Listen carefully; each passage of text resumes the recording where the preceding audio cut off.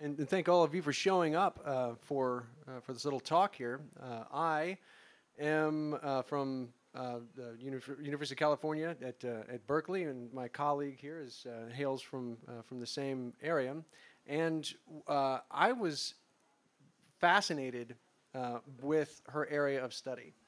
Now, then we, I just want to get a sense here. How many of you actually play video games? Show of hands.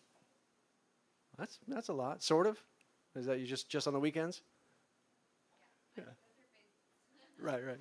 Yeah. I would like to call myself a gamer, but I don't think I can anymore. I've come to realize with the rise of esports and just watching any Twitch stream, I cannot hold a candle to the kind of dedication that is out there for a variety of games. But I have, you know, I'm kind of at this point a weekend warrior. You know, if I get a chance, if I, you know, don't have done much work, I'll sit down and I'll play you know what I can. But it is striking. I was thinking, especially since this this panel comes together, I was thinking like, how often are my games set in worlds that have just been blasted away, either by you know natural disasters, uh, nuclear holocausts, you know whatever the case is. Why is it so many games are in these desolate uh, spaces? I'm sure maybe it says something about me more than it does the gaming industry. But we have to admit there is a, certainly a market for these just ruined spaces and the presence of ruins.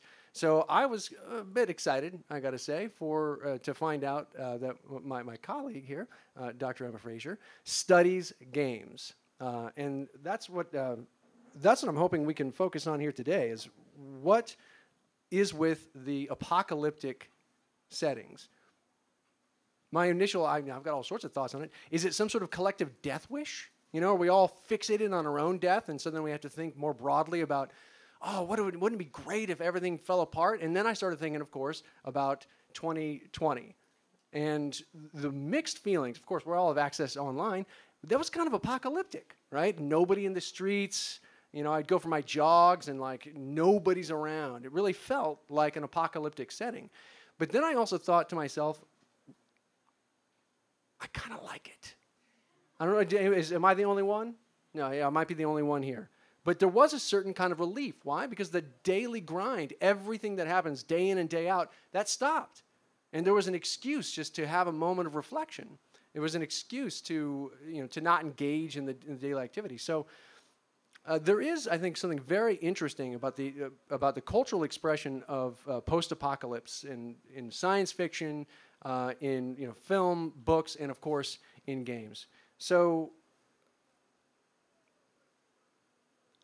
while I enjoy these settings, uh, I'm, I'm happy to take a closer look at the uh, end of the world and gaming the end of the world with, uh, with, with, Dr., uh, with Dr. Fraser today. And I'd like to open with a bit of a challenge, if I, if I may.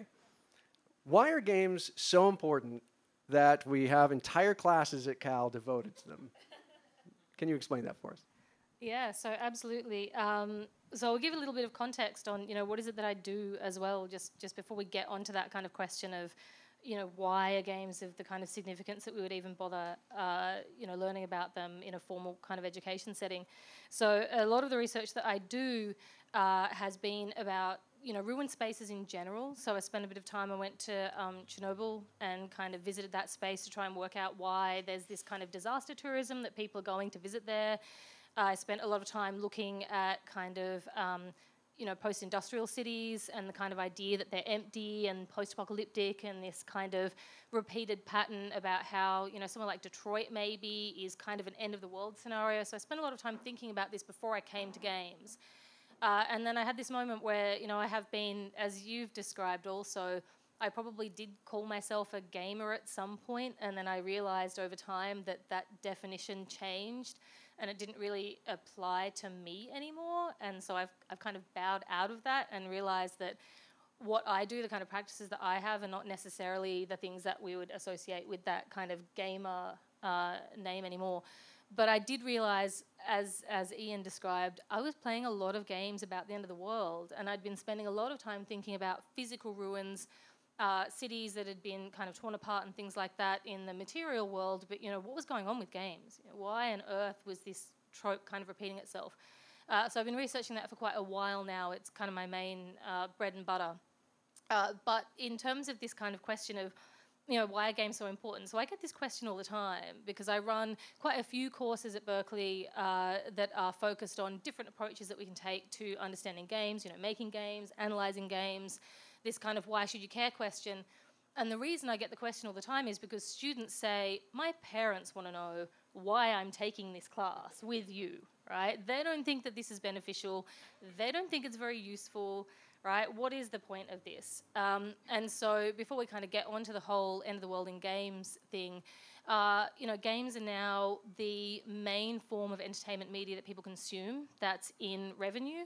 It's also in hours. Uh, and those of you who are pretty intensive gamers would know that part of the reason for that is if you don't put 100 plus hours into a game, you probably aren't going to get very far, right? If you really want to finish a game, you want to get all of those challenges.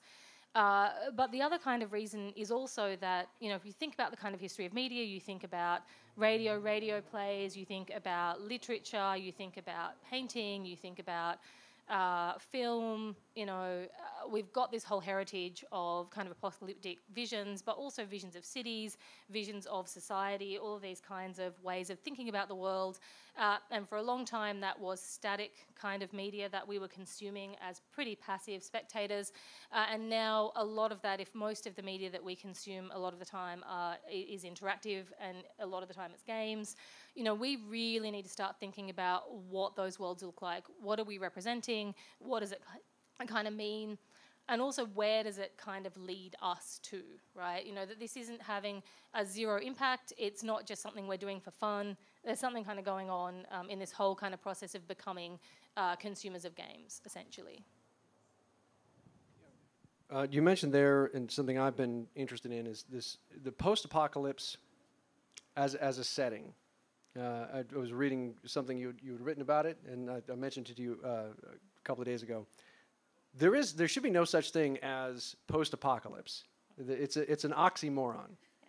right? What what's after the end? Yeah. Yeah. But so there's something built, hardwired into it that that tells me that the end is never really the end, uh, and so why do we keep seeing it? And you know, just you know, we talk about games in particular, but beyond games, why is this such a recurring motif uh, culturally? I mean, I've, I've, just off top of my head created a list here. Uh, 2012, you guys will all know 2012, the movie uh, that was supposed to be the end of the world according to the Mayan calendar. Uh, so they made a movie out of that. Uh, we survived, apparently. War of the Worlds, A Quiet Place, uh, The Day the Earth Stood Still, World War Z, uh, uh the aptly named Armageddon. Uh, it's this is just you know over the course of a decade of, of movies, and I'm and I wasn't even taxing my brain. The End. Uh, talk about some some really really strong fiction turned into a book. The End by Cormac McCarthy. so what's up with this trans genre? And you know is there something different in games, right? Because we have a lot of this end of the world stuff, this theme going on from, well, you go back to 2000 BC and we have got end of the world narratives going on. What is there something different in games? There's something about games themselves and the experience of it uh, that makes it distinct from these previous iterations of the apocalypse. Yeah, yeah. So, so obviously, if we're talking about the end of the world or the apocalypse in games, we're almost never talking about games that are in the lead up to the end of the world, right? They all pretty much take place, you know, Fallout, The Last of Us, Horizon Zero Dawn. There are exceptions, but if, if we think about this as a genre, it's always after the end, right? So this whole concept of the post-apocalyptic, as you describe, um, a guy called James Berger talks about this quite a lot. It's just a real contradiction, right? That we have this kind of cultural symbolism and this figure of the absolute catastrophic, disastrous end of the world, and yet someone always survives, and we always have this kind of story about what would happen after that kind of extreme collapse scenario takes place. Uh, and so, of course, that's not unique to games in a lot of ways. And, and in fact, there's a whole field of study uh, around apocalypse. So, it's apocalypse studies or apocalypticism studies uh, that's focused really on understanding this kind of discourse, this whole set of ideas that we would have around the idea that the world ends and then something much more interesting might happen, right? So, if you're someone who wants to make a game, and you're trying to think of a setting that would be a really useful place that offers up possibility and adventure and a really cool story. Like the end of the world is it. It's a really great setting for you to select. And so I've interviewed a bunch of game developers about this, and one of the things that they have to say about it is that this kind of possibility of the end of the world is really fruitful if you're trying to design, you know, quests, for example. If you were to set a game in just a regular old city, it would be GTA because what can you do in a regular old city? You can go and steal cars, you can go and take stuff, but you can't just go and scavenge around for cool stuff, right? If it's the end of the world, hey, everything's open. Like you can just go break in, you can collect whatever you want, you can stuff it in your backpack, you can keep going, right? So after the end of the world, all of these kind of systems and things like that that are honestly not just a pain to develop for a game, but really kind of impossible uh, for the kind of computational power that we have. You can't really model the real world in a game yet. The end of the world solves all of those problems. It's actually super convenient, right? So, what am I going to do uh, in, in an environment that's a bit like where I'm currently, but I can go around and create havoc and shoot stuff? And, well, it's going to have to be the end of the world, right? So, I think there's a lot of that. Um, and, and, you know, you sort of asked, how is this different then to other forms of media, so literature, things like that. So I think I, I got really into the apocalypse, if I have to trace it back. I got really into 1950s kind of science fiction, so things like Day of the Triffids, uh, where there's this kind of empty city and there's usually one person often a dude who's cruising around that city and observing very lyrically what does it look like when the world ends, right? This kind of story of collapse. And I think what's different about games is that I'm not reading about or watching something like The Last Man where it's another person doing all of that. You know, I can become that hero. So I get to go and be the hero that survives the end of the world, right? So that's kind of what's different about games is that you then get to be the protagonist when everything else has kind of collapsed. And and this is uh, you mentioned you spoke to developers, Yeah. uh, the- and uh, what were the main insights that they offered you? If you haven't you know nail Yeah. it down, because that's I mean interviews with developers seems like where to go to figure out what's you know kind of behind this impulse. Yeah yeah, so I, I don't know how many of you, if any, are game developers. I would be very surprised if no one in this room is a game developer. And if you are, uh, one of the things that you would probably know about is the non disclosure agreement. So that means that if I, a researcher, wants to know about how you developed a really cool, fun game that just came out, like, I don't know, one of the Fallout games, uh, you probably can't talk to me because you've signed an agreement that says this is all top secret. Or you can talk to me, but I can never say that I spoke to you, and I have to generalize uh, what some of the observations were. So I've spoken to quite a few people who have been involved in reasonably big name, what we might call AAA games, uh, that involve things like beautiful vistas of ruins that you can look down upon. You can go to very high places and gaze at the city falling apart, uh, and all of that kind of thing. And uh, what they all sort of uniformly pretty much observed when I asked them this question of, okay, why do you have these post apocalyptic settings in your games? What's the kind of attraction of this? Is it just a really cool gimmick to sell stuff to people, which is obviously part of it? Um, and they all kind of said, well, you know, if you design a game and you have all these pathways that you want people to take, or even if it's an open world game, so a, a kind of vast sort of space that you can move around, uh, you often start to run into trouble where you don't really want people to navigate into certain places, right? So you can design that by having a locked door that maybe people never get through. You can design it by having a brick wall at the end of an alley. But it's really much, much easier if you can stick a bunch of rubble, right? Bits of falling down buildings, right? You can structure pathways so that someone's got to go up a ladder, go, you know, cross a, a, a, building that has big holes in the floor, right? It, it, it's sort of a, a, natural kind of environment for you to design challenges and all of those sorts of things. Um, so that's what a lot of developers said is that they actually often started off, you know they might have had a really interesting story that they want to kind of include in the game about the end of the world, but a lot of it was pragmatic. It was just, it is so much easier to design. You actually use more um, sort of, uh, you might put more polygons and things like that in. You might have more complex textures if you've got this kind of end of the world scenario, but but your kind of levels will be much easier.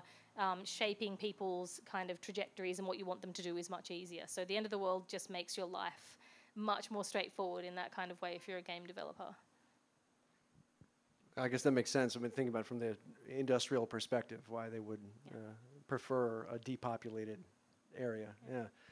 Um, let me uh, shift back to the uh, to the, the kind of broader question.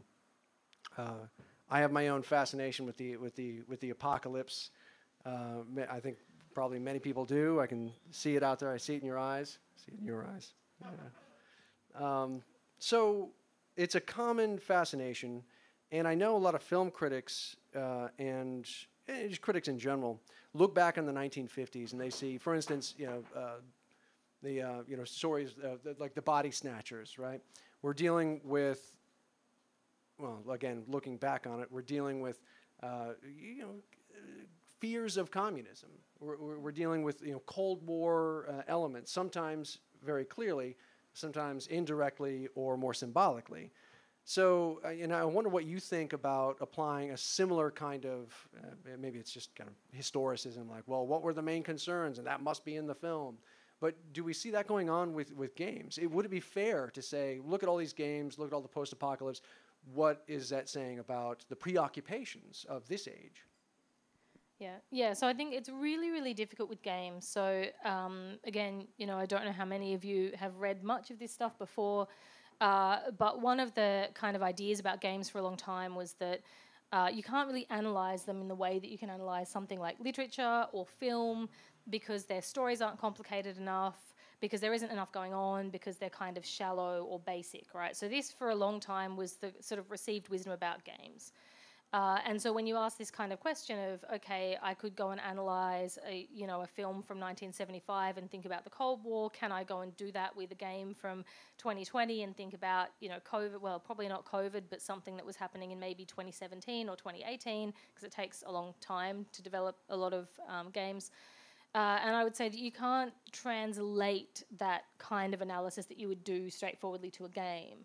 Um, but the reason for that is that games are actually, in a lot of ways, a much more complicated kind of text, right? So you have to think about not just who the characters are and what the story is and where the story is set, but also, you know, you move through that story particularly if you've got a game where you're an avatar and you're moving around, so the landscape in many ways is kind of a character, right?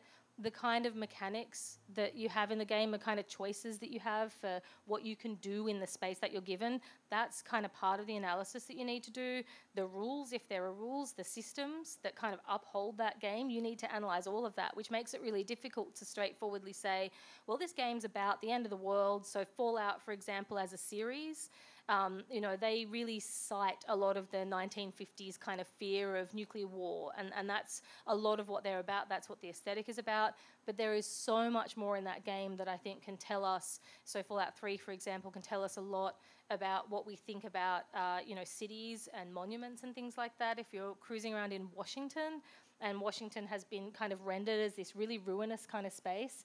Like you will never see Washington the same way ever again, right? And I'm not saying that doesn't happen if you read a book where Washington's been ruined in some way, or you watch Independence Day or any one of those many, many films where you see the Capitol getting kind of blown up. But actually going there, moving around that space, moving your avatar, it makes for a profoundly different experience. So if we want to think about what those uh, kind of underlying symbolism might be, uh, how we can analyze a game for our own kind of current anxieties, I think you've really got to start to ask, okay, who are the enemies, for example, that you're supposed to fight? Uh, what are they doing? They, they stand for a very different kind of uh, part of the story than they would in a, in a film or they would in a piece of literature. Um, because, you know, once you kill them, their, their body disappears, right, from the story. You've got, there's a whole range of other things going on. Um, so, you know, I've thought about this obviously a lot, and I would have a lot to say about the different kinds of analysis that we can do. Um, but I think one of the things that you do see repeated quite a lot uh, is the kind of zombie trope, uh, which I think tells us a lot about our fears ar- around things like pandemics. Uh, around things like, um, you know, the way in which we ourselves might actually feel uh, out of control or not able to make choices in our lives right there's always this kind of character that is is you know beyond themselves that isn't really able to um, sort of function in a normal human way and you've got to destroy them in some kind of way. I think that's really interesting that that comes back again and again. And in con- conjunction with that, you see a lot of uh, themes in post apocalyptic games around technology. So either sort of hyper technical, so something like Horizon Zero Dawn, where you, you wear the focus and things like that. So you've got these kind of technical systems, you become a kind of cyborg or the, the Pip Boy in Fallout. Uh, or you look at something like The Last of Us, and I think that's such a beautiful example of this almost like imagining what it would be like if the world just returned to nature and we could have this rural kind of environment where no one has a cell phone, right? I don't have to worry about this anymore. I'm just out dealing with the zombies, and that's you know my life, right? So I think a lot of the time you'll see these these kind of anxieties are the things that stress us out and we worry about, and then they kind of appear um, in games in that way. Uh, and the other thing that I think is really profoundly different from maybe the communist kind of threat or some of the, the sort of apocalyptic tales around uh, nuclear war um, is really the, the kind of spectre of 9 11. So you see a lot of games, something like Death Stranding, a lot of the ruins in Death Stranding actually look like the, the ruins from 9 11, for example. So I think that's a kind of inevitable part, and the war on terror uh, and the military kind of um, implications there kind of crop up a lot in the post apocalyptic visions that you have in games, very different to, to other media and other forms. Uh, Death Stranding. Anybody has anybody played Death Stranding? Again, a show of hands. Anyone? Oh, it's that, that makes me sad. That makes me really sad. Uh, pretty good game, I gotta say. Pretty good game. Um, it's a little slow because your as a character, your main task is to deliver the mail. Yeah. But it's in a post-apocalyptic setting, so it's cool, and you know there's a lot of jazz to it. But the, you know, what's interesting about that game, and I don't know if, if you feel this way, but th- there is yes, like craters. There is you know some sort of event that took place. It's ambiguously described as it so often is in post-apocalyptic settings. Um, but the main task, as you're delivering the mail, you're you know like a glorified UPS person. Your task is to reforge the social bonds that that were frayed by this cataclysmic event. Where what you're what you're really concerned about is like getting people their stuff so that you re-earn their trust and connect and reconnect. Which, of course, for me is less about a, a you know a physical you know, destruction of infrastructure that we often see represented. And it's more, I, I think, a, a, pretty good commentary on our, our, our current state of uh, alone together, a, as it were, right? We, you know, I don't know how many times we, I've walked into a room and it's like four people together, but they're all just staring in their phones, not interacting, right? So it's the cliche, but, but there is something to it. Plus, we're going through times of uh, pretty intense partisan uh, environment. So it, I don't know. When I look at it, some I think it's, it's a sophisticated game, uh, and I would say it's an excellent medium for communicating, if not, you know, uh, well, anxieties of the time. Uh, it's social commentary in the guise of a post-apocalyptic world, when the real apocalypse is this symbolic one that's going on between us, where places like this and moments of connection uh, are fewer and, and, and far between. Uh, but that's uh, that's of course my interpretation of, of Death Stranding, yeah. and, and, nobody else can share that with me. Uh, go out and get it. Uh, it's it's worth buying, I think. Yeah, and I mean, so I think it, it's kind of interesting. Um, one of the big critiques, right, of an end of the world scenario is that it's this really kind of bad taste spectacle right? Particularly with games, that if you want to go out and play the end of the world, there's partly there's something a bit wrong with you, right? That that's just kind of grim and it's depressing, but also that it's not critical, right? That it's the stuff that big blockbuster Hollywood films are kind of made of, uh, and and that there couldn't be anything profound or meaningful about it. And so I think what one of the things that we're seeing is. Uh, particularly in something like Death Stranding, but there are other other games. I think The Last of Us Part Two tried to do this, and if someone wants to fight me after, I can tell you why they failed, but I won't I won't regale you with that now. Uh, but I think it's a really interesting example, as you know, on this kind of social bonds question, and also to go back to your other question about um, kind of analysis of literature and things like that. This potential for games, which I think for anyone who who plays games a lot and is really into it, this shouldn't be news to you. But they actually have a lot of potential to, for example, uh, be really critical dystopian pieces of work, um, get people to think about you know social and cultural questions Uh, but for a long time, the default kind of idea is that games are fun, games are kind of meaningless, they're a bit of a waste of time, you know, they're maybe not about anything.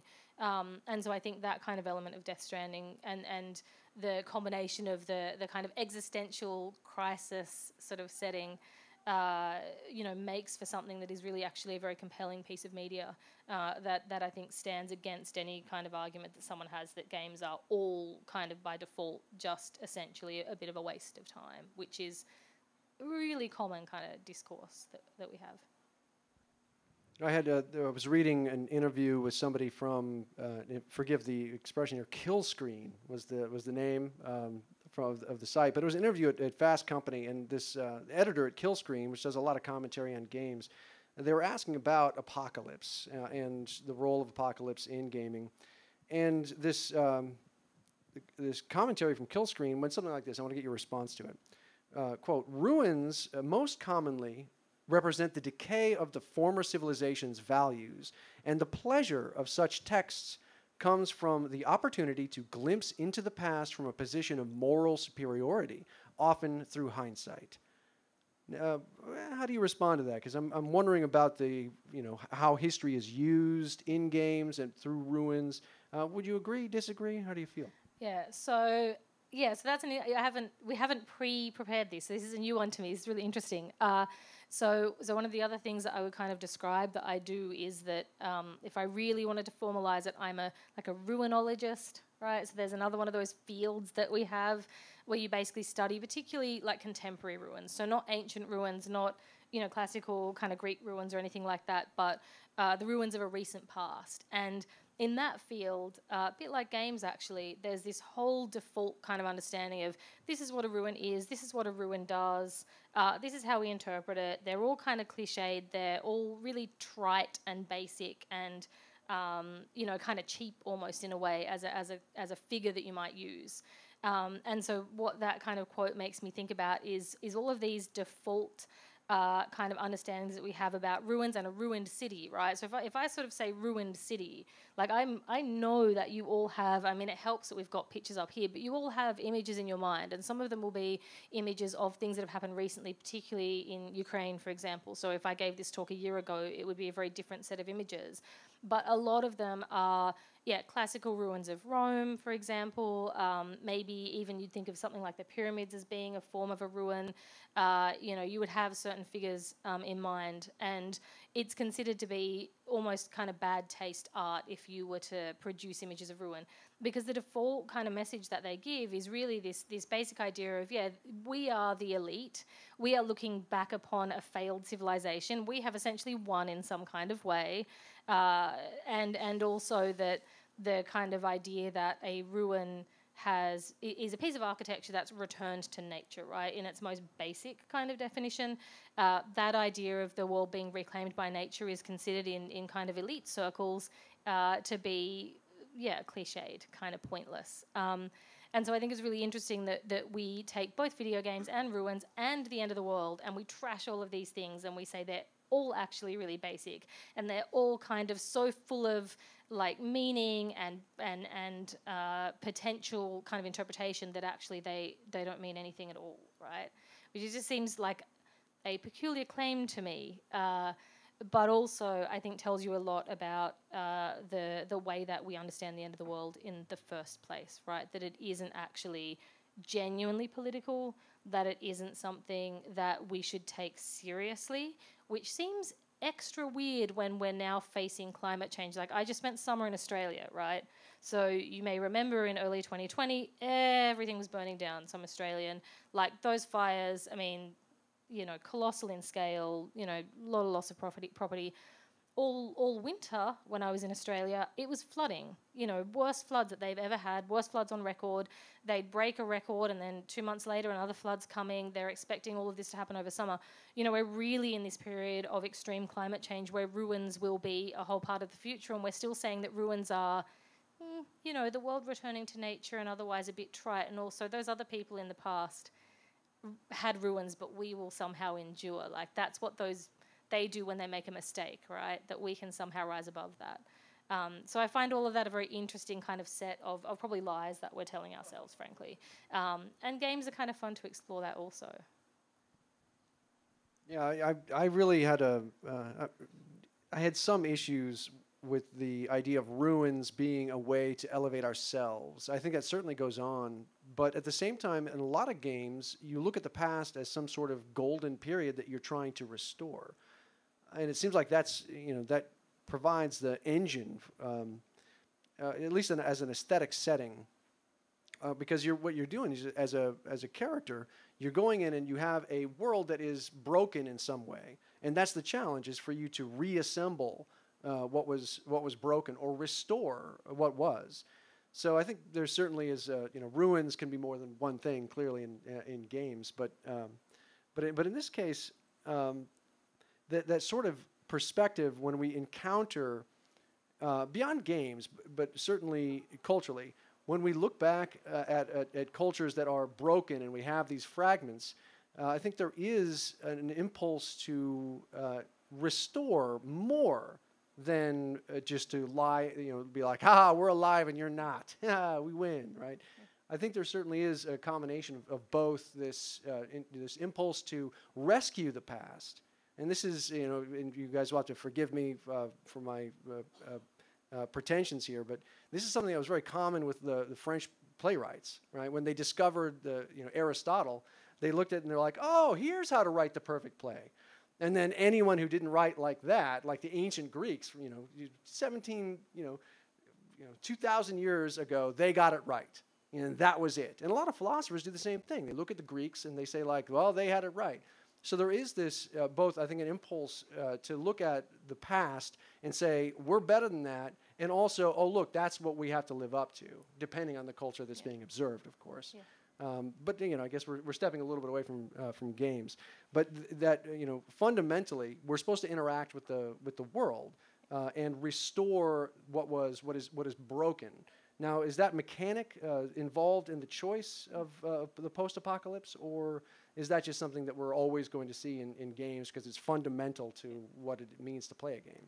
Yeah, and that's a really pertinent question. For so this image um, here is the most recent Kirby game, Kirby and the Forgotten Land, and I think this is a really perfect image for this question on restoration because the thing that is really interesting and really notable about this game is so a lot of you have probably played a Kirby game.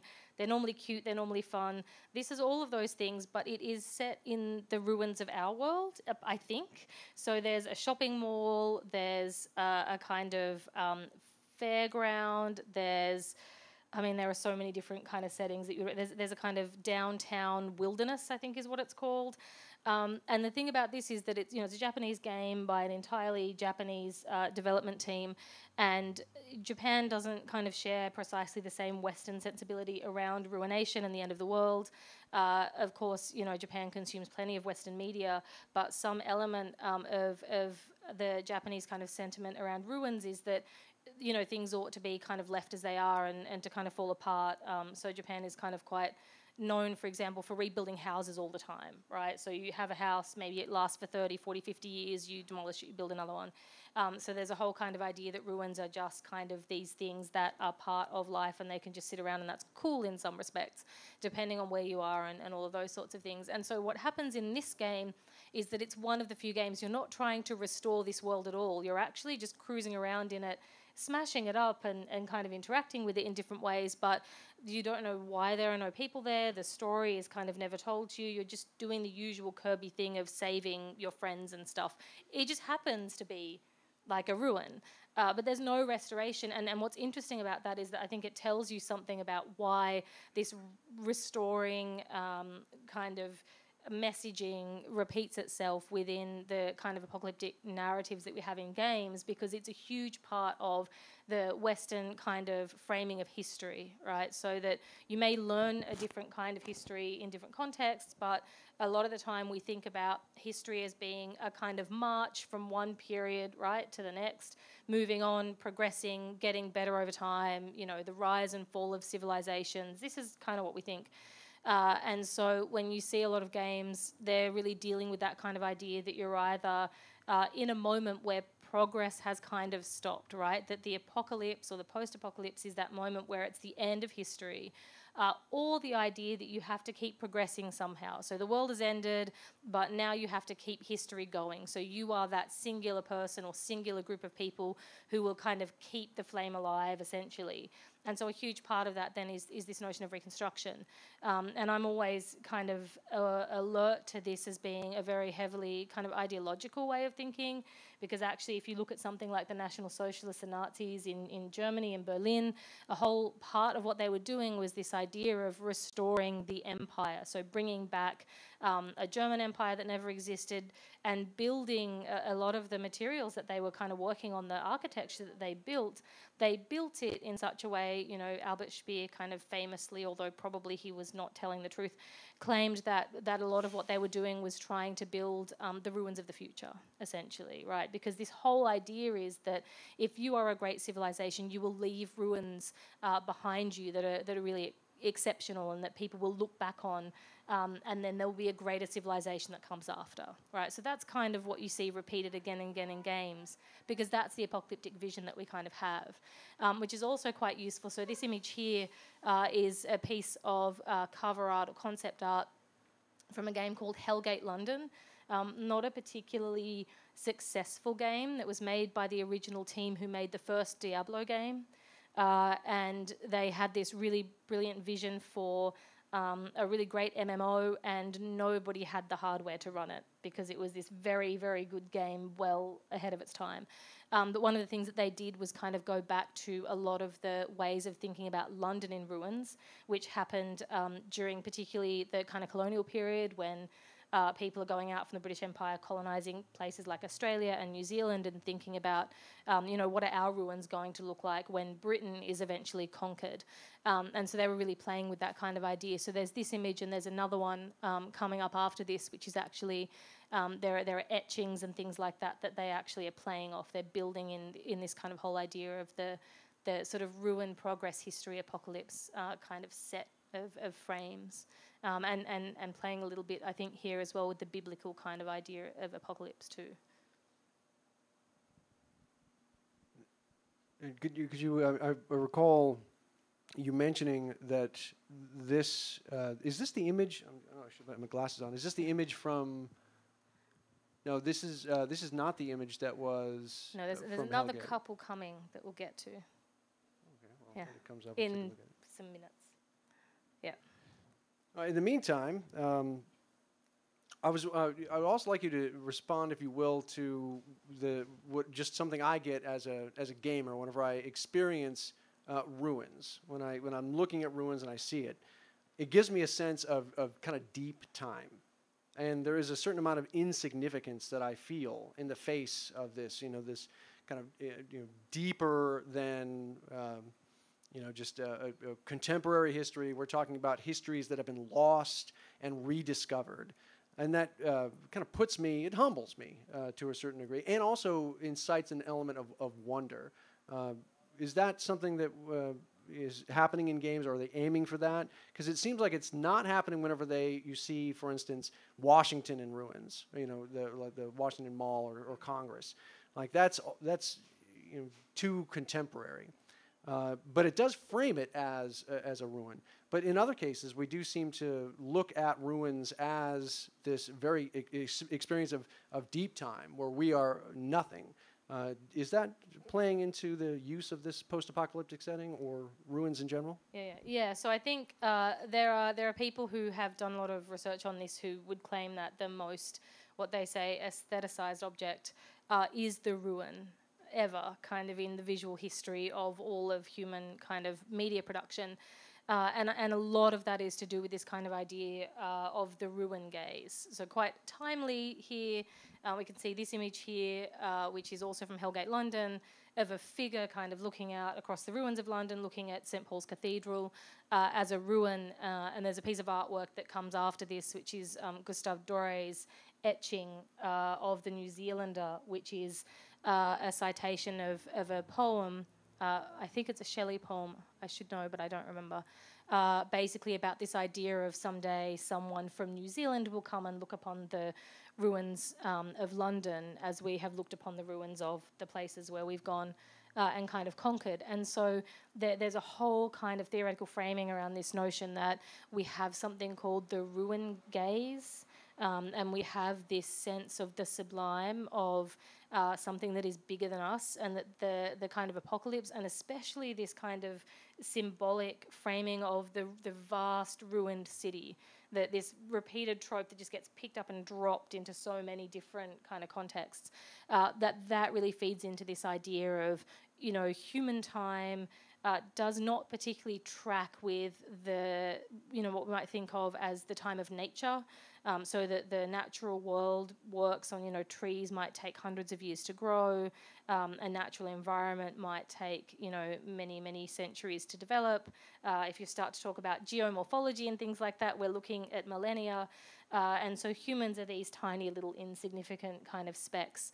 Uh, and so a ruin, and, and, especially a ruin at scale, so a, a kind of apocalyptic, post apocalyptic city, uh, does all of that kind of work of making us feel small and insignificant by almost giving us a snapshot of that decay, that decline, that um, eons long temporality, right? And and part of that I think has a lot to do with the framing again that we have around what is historic and what what our experience of time is.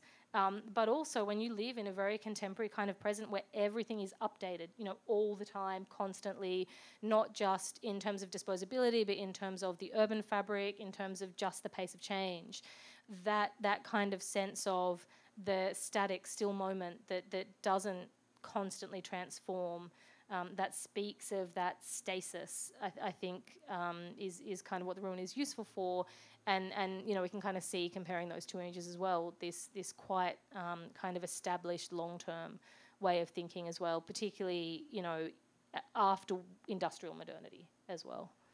And the premise here is that this is a New Zealander who's yes. coming back to to look at a fallen central empire or the center of the empire.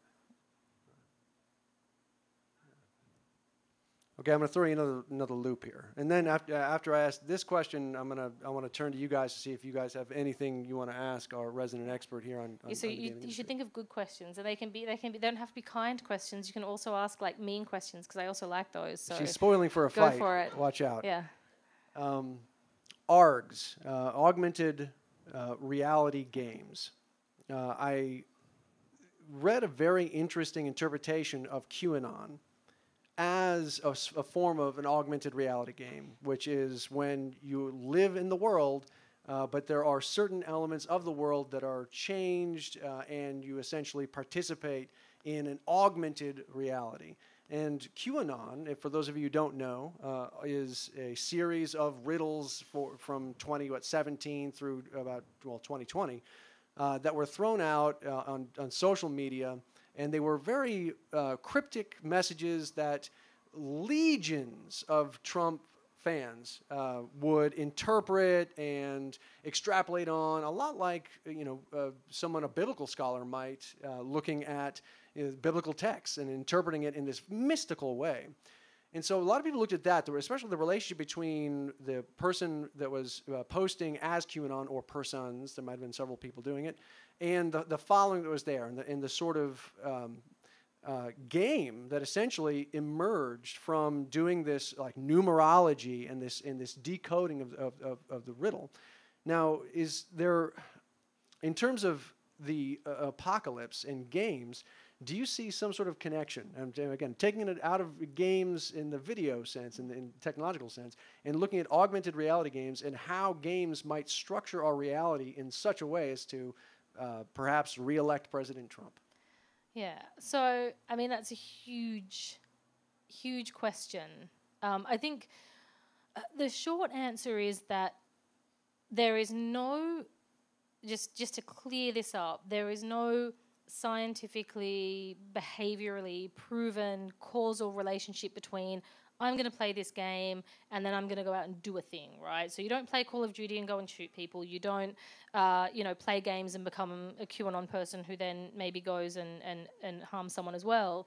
Uh, but I think there is something to be said for a, a wider kind of digital context in which, you know, if if we have a way of thinking about the world that is increasingly predicated upon this idea that we take as a common sense kind of idea that you can get lost online, that you can get so addicted to a game that maybe we think you wouldn't know right from wrong, or you wouldn't know the the the real from the the kind of fake. Um, that you know maybe if we consume enough uh, media that doesn't give us a kind of factual perspective, that we could get kind of trapped in a, in a different way of thinking. And we see this playing out again and again. So a lot of the conversation about the metaverse at the moment is is kind of centered on this notion that maybe our lives are so terrible that we would all prefer going online and living in another world, right? So we have this very dominant kind of idea that um, the online world, the digital world, the video game world is some other kind of reality that we are living in.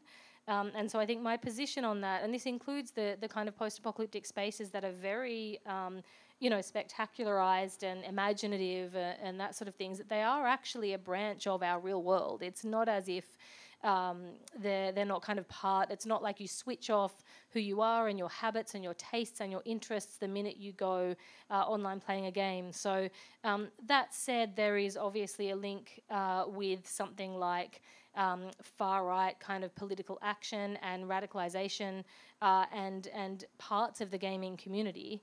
Um, but I think that that has a lot more to do with uh, notions that we have around um, games culture, digital culture, what was kind of promised, right? That that digital culture.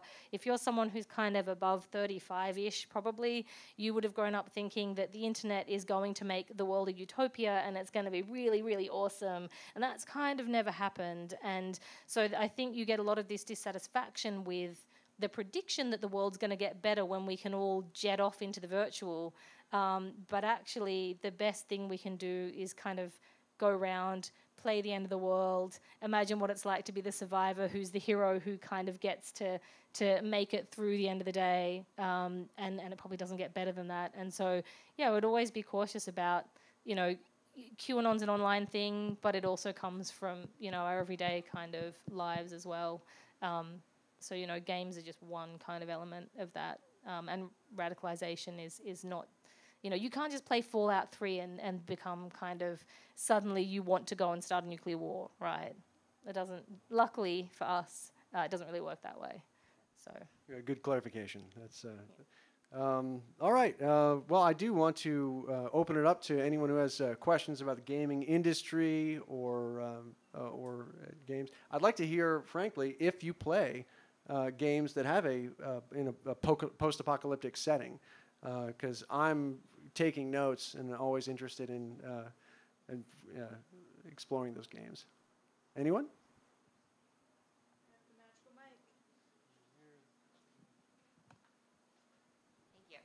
Um, so I have kind of a opposite question of the post-apocalyptic, but like games, like world-building games, but specifically, I feel like there's a synergy with people who play maybe like they want to be the savior in a post-apocalyptic apocalyptic world, but they go to world building and then maybe like destroy things, right? So I'm kind of curious how you see like that, um, those different types of games and maybe different types of behaviors within games. Yeah, so so there's quite a few people who have done um, what we can think of as, as being kind of player typologies, where you basically uh, watch a lot of different people play video games and try to work out what do they get out of it, what kind of play are they engaging in, and what is it that they're doing. Um, and and actually, what you've identified there is that there is a whole kind of uh, play style, which is essentially the destructive player or the or the chaos causing player. Uh, so there's a there's a study um, I think it's T.L. Taylor, it might be somebody else, uh, on The Sims and looking at what different play types there are in The Sims. And there is a whole category of person who plays The Sims who likes to build up a house, get everyone into the house, kill everyone in the house, have a whole bunch of graves out the back, um, you know, and kind of essentially destroy the kinship and the social kind of environment. Uh, and, there, and there are also a whole range of games that are based on this idea of just go out and smash stuff up, cause chaos. Um, and there, there are also patterns of play where you may have a quite open world game and there's a lot of different things you could choose to do, and you just you choose to uh, maybe grief people or go around and actually destroy someone's fun MMO that they're doing online and like ruin their little world that they've built, which I think people will also do. Um, so yeah, there's absolutely a player type that is the destructive player.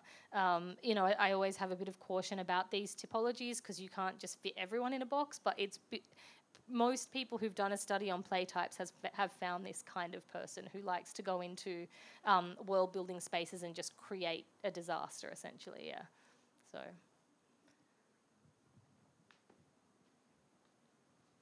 Yeah, um, I was curious uh, what your thoughts were on how the medium of video games might affect uh, the storyline or perhaps even constrain the stories to kind of be optimistic in a sense because since it's an active, interactive experience, the player might expect to just win at the end. I, I think you're kind of limited in a video game medium versus just watching a movie.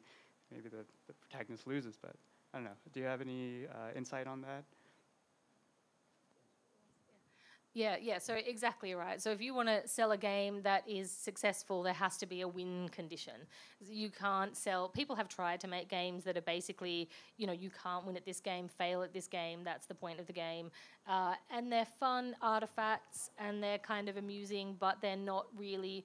One of the questions is are they games? So if you can't win, is it a game, right? What, what makes it a game?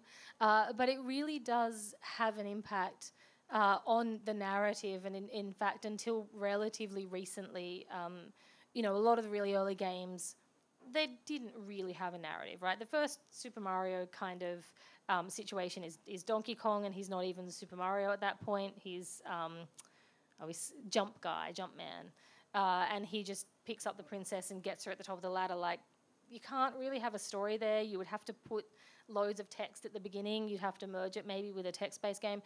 Um, so, you know, there are a lot of constraints. Designing a game uh, that is kind of meaning plus play together is is profoundly difficult. So the people again, if anyone here who's a game designer would kind of know that the holy grail of, of if you're doing especially an RPG that people are supposed to play for hours and hours, um, you know you've you've done your best kind of job in that. If the storyline is so integrated and seamless with the play and with the requirements of play that you can kind of do both at once, because uh, most games, a lot of it's cutscenes and things like that, or filler kind of moments where half the players are like, I just want to play that game. Um, so there is this really complicated question about games. You know, what can they do with narrative? Can games really have narrative in the sort of sense that we would recognize it um, or not. And this is like a really aggressive fight that goes on in academic circles, which often my students say, this isn't. Uh, this is an argument. I've played whatever my favorite game is, and of course it has a narrative, and it's a great narrative, and I'm really into it. Um, but yeah, it's it's not the same as, as other forms of media though. So it is it is a really complicated thing to do, and it takes a lot of time to do it right. We had, we had one over here in the corner that's been waiting patiently. Um, so you're obviously somewhat of an expert on video games in general, and I imagine that means you play at least a good amount of a good number of them. Um, what are your favorite games to recommend to people? And I would say specifically two games. One is what do you recommend to like the casual gamer who played like Candy Crush when it was popular? Or what do you recommend to you know someone who has logged hundreds of hours in all the games that you've listed, you know the AAA games that you've listed today? Yeah, so so providing that we're just talking across like most of most of time, or at least not now, not currently. Um, so a, a, game that is really beautiful, I think, for for casual gamers. Um, if it's kind of quite an old game, I think it came out in 2014. Um, I was actually just talking about this today. Is a game called Monument Valley. Um, yeah, right. It's a re- it's a really great game, and it's a game that kind of plays with the idea of what is a game. Um, so so the idea is that it's sort of an Escher-like maze that you have to navigate through, but it really acknowledges the fact that it's a flat screen. You're not really in a dimensional space, so it's like puzzles. Um, it's got a really beautiful atmosphere, and I think it, it's it does everything that a really simple game um, should be able to do. So that's quite that's quite beautiful um, as a game.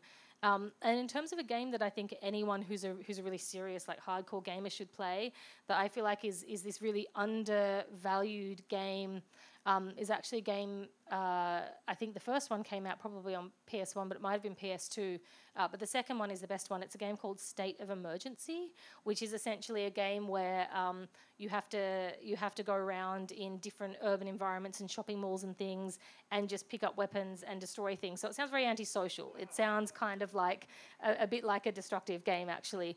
Um, but it's just one of those games that's just infinitely playable, really beautifully designed. Didn't do particularly well at the time, and actually does have this interesting combination of very basic, smashy kind of gameplay that could appeal to anyone, but does have a kind of underlying message. Um, so that that would be the one that I would say for the kind of hardcore, very into their games. You know, go and get State of Emergency on an emulator or something and, and play that um, and have a really fun time and think about it. Yeah. Uh, Okay, I we think have, we have time for one more. yeah. Whoever, who do you want to pick?